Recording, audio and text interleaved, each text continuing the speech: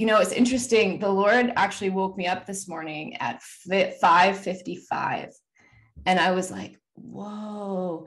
And so he, he got my attention. And for anybody who knows me, I am not the most like morning person. Mornings are not my favorite.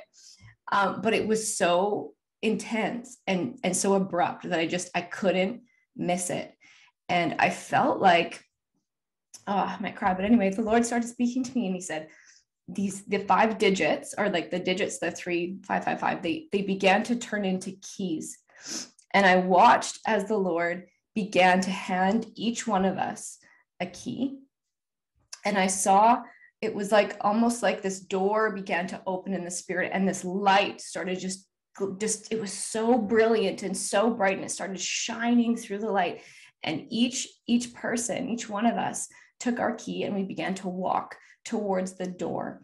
And so just even right now as i'm just sharing sharing this with you i feel like this is an impartation for all of us that's been on god's heart. I think i'm just i'm so weepy because it's it's been so on god's heart. Just to tie in with this it just felt like the lord was just highlighting the inheritances and the blessings and the callings on family lines that he wants to release this morning. And so i felt this for for something's been building for weeks and we've all been sensing that. And so I feel like there's something this morning. I invite you to just receive that right now that the Lord is giving us keys.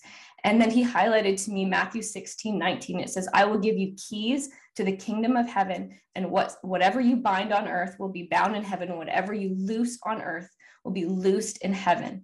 And the keys are to unlock the destiny that he has for your family and for your family line and for your children and um and yeah and so i just feel like there's something about the lord that he's inviting us to stand in this place to know our children by the spirit and actually call them into their destinies to anchor ourselves in what he how he sees them to anchor ourselves in the blessing in the calling in the destiny that he has for our children for our families. And that's why it's so important that we see what he sees and that we say what he